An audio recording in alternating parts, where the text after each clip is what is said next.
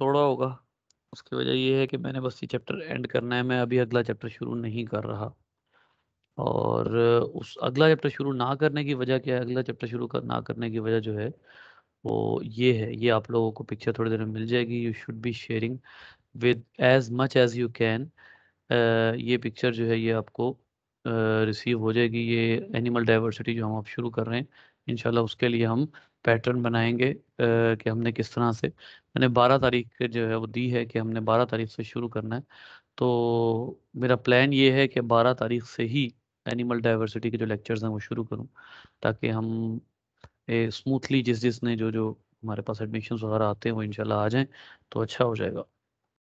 बाकी जहाँ तक बात है कि ये टॉपिक जो है, ये जो पिक्चर है, इसकी वजह से जो मैंने डेट वगैरह दी हुई है इसमें, और क्योंकि हमें ज़ाहिर है अगर इसकी एडवर्टीजमेंट करनी है तो दो तीन दिन तो लोगों को देने होंगे।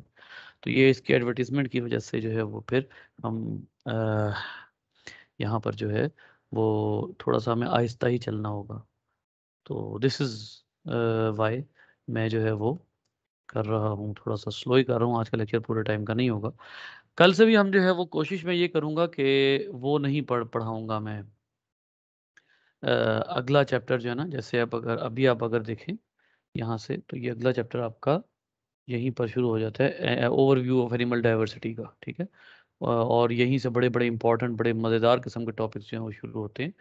तो ये जो है वो, मैं अगला चैप्टर ये जब ख़त्म हो जाएगा, मैं अगला चैप्टर नहीं पढ़ाऊँगा, बल्कि जो बाद के दो दिन होंगे ना, उसमें हम कुछ और चीज़ें पढ़ेंगे। जैसे फॉर एग्ज़ाम्पल यहाँ पर अगर आप देखें तो हमने दो तीन चीज़ें छोड़ी हुई हैं। जैसे ये चैप्टर है आपका ऊपर गुजर गया। ये, यहाँ पर हमने दो तीन चीज़ें छोड़ी हुई हैं। इनमें जो आप लोगों के बहुत बेसिक सवाल होंगे, वो भी एंटरटेन कर लेंगे। फिर उसके साथ साथ जो आपका फोटोसिंथेसिस और सेलुलर रेस्पिरेशन का टॉपिक है ना, ये इंशाल्लाह हम जो है वो इसको डिस्कस करेंगे सेलुलर रेस्पिरेशन एंड फर्मेंटेशन वाला। तो इन अगले दो दिनों में ये ये कॉन्सेप्ट जो है, ये हम कंप्लीट करने की कोशिश करेंगे ताकि हमें ये भी ना हो कि हमने पढ़ा नहीं है और क्लासेस भी ना ज़ाया हों और जो चीज़ें हम गुजार आए हैं, उनको थोड़ा सा हम एक ओवरव्यू दे दें। तो इस तरह से मेरा ये प्लान है। एनिमल डाइवर्सिटी के जो चैप्टर्स हैं, वो आगे ही आगे से ही स्टार्ट होंगे, इंशाल्लाह मंडे से। मंडे को ही बन रही है गलबन बारह। मंडे बारह, जी बिल्कुल मंडे को ही बन रही है। अच्छा जी, अब यहाँ पर जो है वो लाइकेंस के हवाले से तो हमने डिस्कशन देख ली थी, उसके बाद जो है वो अब हमने आगे पढ़ना है बेटा फंजायज पैरासाइट्स अब ये हेडिंग बोलने का मतलब है कि आप एक इतना बड़ा सारा रजिस्टर खोल लें और पढ़ते जाएँ पढ़ते जाएँ पढ़ते जाएँ। क्योंकि फंजाए की बीइंग ए पैरासाइट इतनी पुरानी तारीख है you can not even imagine इतनी पुरानी तारीख है, इतनी पुरानी तारीख है कि आप ये कहते हैं कि फंजाए जो है वो नस्लों से इंसान के लिए पैरासाइट बनता आ रहा है, ठीक है? अब जो पैरासाइट है उसमें ये भी हरगिज ज़रूरी नहीं कि वो सिर्फ़ इंसान के लिए हो। बल, बल्कि every sort of living object अब इसमें जो है वो पैरासाइट से ज़्यादा आप ये कहेंगे कि क्योंकि ये हेट्रोट्रॉफ है फंजाई क्योंकि हेट्रोट्रॉफ है लिहाजा इसमें आपको दोनों तरह की चीज़ें मिलेंगी। कौन सी? जहाँ इसका बस चलेगा वहाँ ये पैरासाइट होगा और जहाँ इसका बस चलेगा वहाँ ये प्रेडिटर होगा। जैसे ये प्रोटिस्ट का प्रेडिटर होता है। प्रोटिस्ट खाता है, ठीक है? बैक्टीरिया का प्रेडिटर होता है। फंजाई इवन मल्टी सेलुलर का प्रेडिटर होता है। मल्टी सेलुलर जो ऑर्गेनिजम्स होते हैं ना, उनको भी ये ये फंजाई जो है, ये किल करता है, ख़त्म करता है, मारता है। तो ये मल्टी सेलुलर का भी प्रेडिटर होता है और हो सकता है। तो ये जो ऑर्गेनिज्म है, इनकी बड़ी पुरानी तारीख है इस हवाले से। आप देख लीजिए कि जितनी one one forty five thousand जो स्पीशीज इस वक्त तक हमें डिस्कवर हो चुकी है, उनमें से थर्टी परसेंट ऐसी हैं जो या पैरासाइट्स हैं या पैथोजेंस हैं। अब फंजाई का मसला ये है कि ये पैरासाइट जब बनता है ना तो आम तौर पे जब ये पैरासाइट बनता है तो साथ ही ये पैथोजेनिसिटी भी क्रिएट कर देता है। जैसे एक फंजाई है जो आपके पैरों की उंगलियों के दरमियान में ग्रो करता है। अब ये पैरासाइट है। लेकिन ये साथ पैथोजेनिसिटी कॉज नहीं करता। आपको तकलीफ़ ज़रूर देता है, लेकिन ये डिज़ीज़ नहीं है। आमतौर पर फंजाई क्या होते हैं? ये आपको बाकायदा डिज़ीज़ कॉज कर देते हैं। ये आपके अपॉर्चुनिस्ट होते हैं और आपकी बॉडी में आके जैसे एक डिज़ीज़ है आप आगे पढ़ेंगे। अभी थोड़ी देर में आप उसका नाम पढ़ेंगे। वो है क्या नाम था उसका? एफ्लाटॉक्सिन से होती है, वो डिज़ीज़ जो है वो आपके नर्वस सिस्टम का स्पाज्म कॉज कर देती है और आपके नर्वस सिस्टम को किसी काबिल नहीं रहने देती, एर्गोटिज्म एर्गोटिज्म कहते हैं। ये जो है, एर्गोटिज्म, ये इंतहाई डेंजरस डिज़ीज़ है। लेकिन एक बात मैं आपको बता दूँ कि ये फंजाए के बारे में एक बात अपने हमेशा जेन में रखिएगा कि ये बहुत बड़ा अपॉर्चुनिस्ट ग्रुप है। ये बहुत बड़ा अपॉर्चुनिस्ट ग्रुप है। और ये इतना बड़ा अपॉर्चुनिस्ट है कि अगर किसी पर्सन के अंदर, इसकी मैं आपको लेटेस्ट एग्जांपल भी देता हूँ, अगर कोई कोई पर्सन ऐसा है जिसको ऐसी डिज़ीज़ हुई है कि उसका इम्यून सिस्टम कमज़ोर हो गया। तो ये ऐसे अपॉर्चुनिस्ट हैं कि ये फटाफट उसकी बॉडी के अंदर जाके पैथोजेनिसिटी क्रिएट कर देते हैं पैरासाइटिज्म क्रिएट कर देते हैं। कोरोना में बहुत से ऐसे पेशेंट्स थे जिनका इम्यून सिस्टम जो है वो हो गया लो। और उनमें एक खास किस्म की स्किन डिज़ीज़ देखने में आई। और वो जो स्किन डिज़ीज़ थी, वो सिर्फ़ किस वजह से थी कि इम्यून सिस्टम पहले आपका उस पर्टिकुलर फंगस को ग्रो नहीं होने दे रहा था आपकी स्किन के ऊपर। अब क्या हो गया? अब ये हो गया है कि वो जो इम्यून सिस्टम है वो क्योंकि वीक हो गया है, लिहाजा जो आपके वाइट ब्लड सेल्स हैं, वो उस तरह से एंटीबॉडीज नहीं बना सक रहे, आपका इननेट इम्यून सिस्टम काम नहीं कर रहा, लिहाजा आपकी जो बॉडी है, वो फंजाए को टॉलरेट कर रही है फंजाए जो है वो इजीली आपके इम्यून सिस्टम के अगेंस्ट काम कर रहे हैं और उसको एलिमिनेट किए जा रहे हैं। कोरोना में ऐसे पेशेंट्स देखने में आ रहे हैं जिनका इम्यून सिस्टम ड्रास्टिकली ड्रॉप हो जाता है। फिर इसी तरीके से एड्स अब एड्स में इम्यून सिस्टम बुरी तरह डिस्ट्रॉय होता है। अब उस एड्स के दौरान दौरान बहुत सी डिज़ीज़ ऐसी होती है जो हमें हो जाती और उनमें से बहुत सी फंगल होती हैं। क्यों? अपॉर्चुनिस्ट है। इम्यून सिस्टम वीक हुआ है, साथ ही फंगल डिज़ीज़ हो जाती है। फिर सम टाइम हम फंगस से यूँ कह लीजिए कि फंगस से जो इन्फेक्टेड सब्ज़ियाँ, फल वगैरह होते हैं, वो खा लेते हैं। ड्राई फ्रूट्स वगैरह खा लेते हैं। और ये जो सब्ज़ियाँ, फल वगैरह होते हैं, ड्राई फ्रूट्स वगैरह होते हैं, ये ड्राई फ्रूट्स अगर आप खा लें, जो फंगस से कंटेमिनेटेड होते हैं तो ये फंगस आपके अंदर जाकर डिफरेंट तरह के डिज़ीज़ कॉज कर देती है। इसमें कार्डियोवेस्कुलर डिजीजेस भी हो सकती हैं, ठीक है? एलर्जी कॉज कर देते हैं। स्किन डिज़ीज़ ऐसी ऐसी कॉज करते हैं कि आपको समझ नहीं आता कि आपके साथ हुआ क्या है। तो ये एक्सट्रीमली अपॉर्चुनिस्ट ऑर्गेनिजम्स होते हैं। अब यहाँ पर उन्होंने लिखा हुआ है कि नाइनटीन में गलती से एक जो है वो फंगस अमेरिका में इंट्रोड्यूस हो गई चेस्ट नट्स में चेस्ट नट ट्रीज ठीक है? अब ये जो चेस्ट नट है ये जो है वो आ, आप कह लीजिए कि ये अमेरिका के बहुत बड़ी जो है वो थी आ, बहुत बड़ी इंडस्ट्री थी चेस्ट नट की। ये देखिए चेस्ट नट्स है। अब ये जो चेस्ट नट्स हैं जब ये ये बहुत बड़ी इंडस्ट्री थी अमेरिका की, लेकिन क्या हुआ कि, और ये कहा जाता था कि ये अमेरिका का कॉमन ट्री है, लेकिन एशिया से एक दरख्त इंट्रोड्यूस किया गया जिसमें वो फंगस मौजूद थी, ठीक है? और उसने इस इंडस्ट्री को उड़ा के रख दिया, और अब बस वेजिटेटिव प्रोपेगेशन के ज़रिए जो नया दरख्त प्रोड्यूस हो जाए, सो हो जाए। सीड्स जो हैं, उसके ज़रिए नए दरख्त अब अमेरिका में नहीं लगते। क्यों? क्योंकि हर सीड में ऑलमोस्ट ये फंगस मौजूद होती है। तबाह करके रख दिया इसने प्लांट्स को। सीड्स में मौजूद देखिए वेजिटेटिव प्रोपेगेशन में आपको पता सीड तो बनना नहीं है। सीड नहीं बनना तो इसका मतलब है कि ये सीड में ये फंगस नहीं होगी। तो अब वो चेस्टनट ट्रीज उगाते हैं सीड्स के बगैर। लेकिन उसके अलावा अगर वो ग्रो करें तो उसके अंदर फंगस मौजूद होती है और वो आपकी पूरी फ़सल को तबाह बर्बाद कर देती है ठीक है? फिर इसी तरीके से आपने एफएससी में पढ़ा हुआ है आ, ये कॉर्न स्मट रस्ट और स्मट की डिजीजेज आपने पढ़ी हुई है। रस्ट एंड स्मट ये डिजीजेज आपने पढ़ी हुई है। एरगॉट ऑफ़ राय एरगॉट फंगस को कहते हैं राय कहते हैं उस राय को जिसका पहाड़ बनता है। जिसका उर्दू में पहाड़ बनता है, उस राई को राय कहते हैं इंग्लिश में। ठीक है?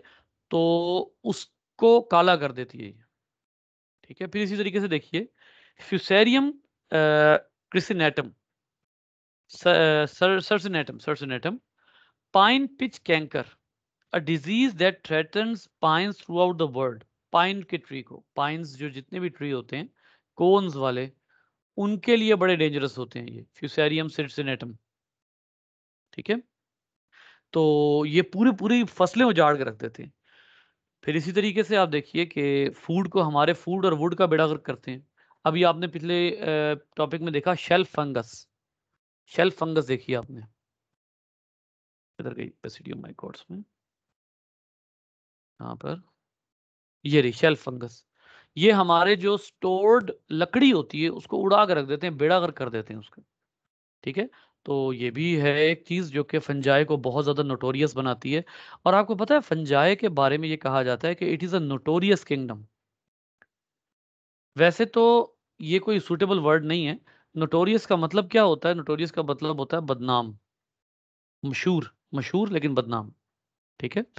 तो ये अच्छे खासे हमारे स्टॉक्स का, यहाँ पर आप देखें कि ये फ़ूड क्रॉप्स का नुकसान नहीं पहुंचाते, बल्कि ये हमारे जितने स्टॉक्स होते हैं, अब वो चाहे हमारे टिम्बर का स्टॉक हो, जो इमारती लकड़ी होती है टिम्बर उसका स्टॉक हो, या हमारे फ़ूड का स्टॉक हो, हमारे स्टोरेज हाउसेज हो, हर जगह पर ये अच्छा खासा बेड़ा गर्क करते हैं।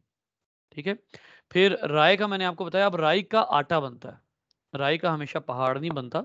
राई का आटा बनता है, और अगर उस राई को एरगॉट है, और कीजिए टॉक्सिन होता है इसका बड़ा पर्टिकुलर और उस टॉक्सिन को आपकी जो एफएससी की बुक है, उसमें लिखा हुआ है एफ्लाटॉक्सिन ये टॉक्सिन जो है, ये अगर राय में चला जाए, राय के दाने में चला जाए तो ये आपको गैंग्रीन कॉज करता है नर्वस पाज्म कॉज करता है बर्निंग सेंसेशन होती हैं हेल्यूसिनेशन होती हैं, और टेम्पोरेरी इंसेनिटी पागलपन हो जाता है। मतलब इस कदर खौफनाक डिज़ीज़ है। अगर आप कोई फंगल कंटेमिनेटेड फ़ूड खाएँ याद रखिए, बैक्टीरिया से इतनी खौफनाक डिज़ीज़ आमतौर पर नहीं होती है आपको, खासतौर पे पागलपन। क्यों? क्योंकि बैक्टीरिया जो है, वो यूनिसेलुलर ऑर्गेनिज्म में कंट्रोल में आ जाता है। ये मल्टी सेलुलर होते हैं बॉडी के अंदर जाके ग्रो होते हैं और बेड़ा गर्क कर देते हैं, ठीक है?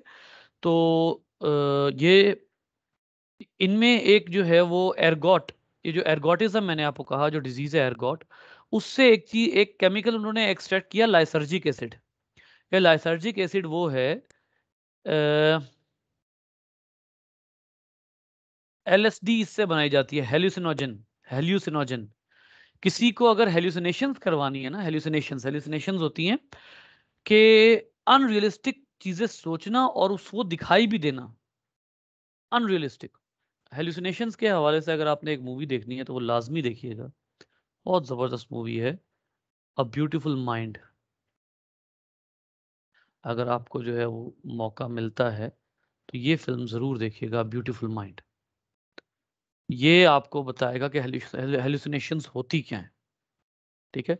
अनरियलिस्टिक वर्ल्ड है, आप अनरियलिस्टिक वर्ल्ड में जीना शुरू कर देते हैं, या थोड़ी देर के लिए या परमानेंटली अगर आपको डिज़ीज़ है तो आप परमानेंटली जीना शुरू कर देते हैं, और अगर आपको किसी ने कोई मेडिसिन दी है, जैसे आमतौर पे एक और डिज़ीज़ होती है जिससे हेलुसिनेशन होती हैं, जिसकी ज़्यादा डोज हेलुसिनेशन कॉज कर देती है, ये ड्रग जो है, ये आमतौर पे एक्सट्रीम पेन किलर के तौर पे यूज़ की जाती है मैरीहुआना और ये तब यूज़ की जाती है जब आपको बुलेट लगती है। ये पेन किलर होती है। उससे भी हेलुसिनेशन हो जाते हैं। आप अनरियलिस्टिक वर्ड में जीना शुरू कर देते हैं। तो हेलुसिने ये एलएसडी जो है, यानी लाइसर्जिक एसिड इससे एक ड्रग बनाई जाती है एलएसडी जो हेल्यूसिनोजन है, यानी आपको हेलुसिनेशन कॉज करती है। और ये लाइसर्जिक एसिड किसमें होती है? ये आपको एर्गोटिज्म में, आपके बॉडी में प्रोड्यूस होता है लाइसर्जिक एसिड जो कि आपको एर्गोटिज्म डिज़ीज़ है और जो कि आपको हेलुसिनेशन कॉज करवाता है ठीक है? फिर यहाँ पर जो है वो इन्होंने मजीद एनिमल्स के बारे में लिखा हुआ है कि एनिमल्स का जो है हाँ, बड़ी खौफनाक डिज़ीज़ एम्फीबियंस वगैरह के भी कॉज करते हैं ये। माइकोसिस है। General term for an infection in animal by fungus mycosis ठीक है? स्किन माइकोसिस बहुत ज़्यादा होती हैं ह्यूमन में। ह्यूमन में आमतौर पे स्किन माइकोसिस और ख़ास तौर पर रिंग वॉर्म्स बहुत ज़्यादा होते हैं। मैं आपको रिंग वॉर्म्स दिखा देता हूँ। ये कोई जो है वो it would not be a good sight to watch ये मैं पहले से आपको बता दूँ। ये रिंग वॉर्म्स है। ठीक है? रिंग शेप्ड आपकी बॉडी के ऊपर छोटे छोटे छोटे छोटे स्पॉट्स बन जाते हैं। ठीक है? तो ये रिंग शेप जो है, ये ये फंगल डिज़ीज़ है स्किन डिज़ीज़ है फंगल डिज़ीज़ है और ये खांसी जो है वो इची होती है, इसके अंदर से लिक्विड निकलता है और ये ब्लिस्टर्स अभी आपने पिक्चर भी देखी ब्लिस्टर्स इससे प्रोड्यूस हो जाते हैं और इसी तरीके से जो है वो एथलीट्स फुट ये भी एक डिज़ीज़ होती है, ठीक है? और ये अच्छा ये बड़ी बात है कि ये हाईली कॉन्टेजियस हैं कॉन्टेजियस वो हैं जो लगने वाली बीमारी होती है, ठीक है? जो ट्रांसफरेबल होती हैं जिनको आप इजीली ट्रांसफ़र एक पर्सन से दूसरे पर्सन में इजीली स्किन डिज़ीज़ हमेशा वो होगी हमेशा जो भी स्किन डिज़ीज़ होगी वो कंटेजियस होगी लगने वाली बीमारी होगी आराम से जो है वो आपको लग सकती है वो बीमारी ठीक है? तो माइकोसिस जो है वो बड़ी इस लिहाज से जो है वो आ, कोई भी माइकोसिस असल में किसी भी फंगल डिज़ीज़ को कहते हैं तो ये इस लिहाज से ह्यूमन में बहुत ज़्यादा होती है। आ, फिर एक इसे इसी तरह सिस्टेमिक माइकोसिस ये वेरी सीरियस इलनेस है caused by inhaled spores. Coccidiomycosis is systemic mycosis that produce tuberculosis like symptoms in the lungs ठीक है? बहुत से लोग जो हैं वो इससे इन्फेक्ट uh, होते हैं डेडली नहीं है आमतौर पे। फिर कैंडिडा एल्बिक एल्बिकन्स जो है वो कैंडिडियासिस कॉज करती है एक डिज़ीज़ होती है और कैंडिडियासिस ठीक है? और ये भी कोई बहुत मुश्किल नहीं है होना, कैंडिडियासिस जो है और ये बहुत तेज़ी से ग्रो होती है, ग्रो होती है। कैंडिडा एल्बिकन्स असल में इसके जो रिस्पॉन्सिबल पैथोजिन है उसका नाम है और इसी तरीके से स्किन पर ये भी स्किन डिज़ीज़ है और डिज़ीज़ है और अच्छा खासा इच्छी और अच्छा खासा अनप्लेजेंट इससे जो है वो आपको फील होता है। मैं आपको एक और बात बताता हूँ। एक फंगस होती है, कुछ अर्सा पहले मैंने उसके बारे में पढ़ा था जोम्बी फंगस। जोम्बी कॉन्सेप्ट आपको पता क्या होता है?